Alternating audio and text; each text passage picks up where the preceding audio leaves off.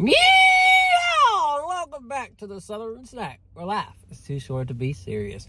All right, we're back at First Watch trying their barbacoa chilaquiles, or I, I don't know how to pronounce it, but it's C H I L A Q U E S. Chilaquiles? I don't know. But you got scrambled eggs, cheesy scrambled eggs, uh, black beans, tortilla chips or strips or some fried tortilla thing.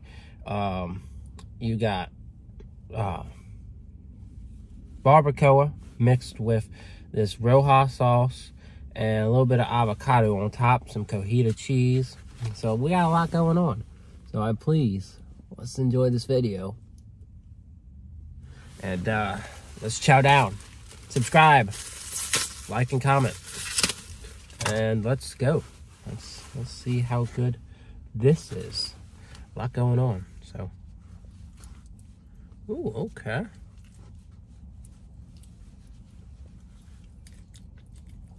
Mmm. It's definitely got like a southwestern flavor to it.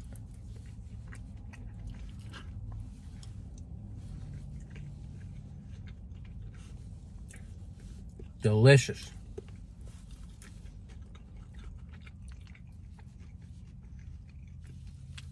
Here's a piece of the meat.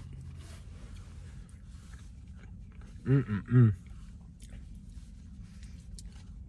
Wow, that's really good. Let me get a little bit cheese too. Mmm. Yeah. Just the abundance of flavor on this. And then you get some nice hearty sides also with the beans and the egg. This is very, very well put together. Mm. This is a hearty meal. Um, it's got everything you want. If you like Southwestern style dishes, this is the perfect brunch item for you. Mm. I'm surprised. I was really surprised on this. I wasn't expecting a lot. I wasn't expecting much on this. Um, but they really just nail the flavor. Not really, not spicy by any means, but definitely like a, a tomato, southwestern spiced type of mix here.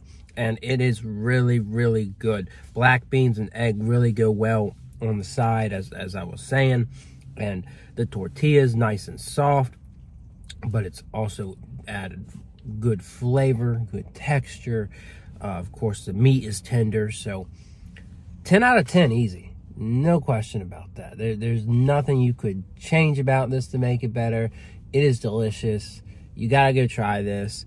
The new Barbacoa Chilaquiles, or however you pronounce it, available now. Other than that, I'll see y'all around.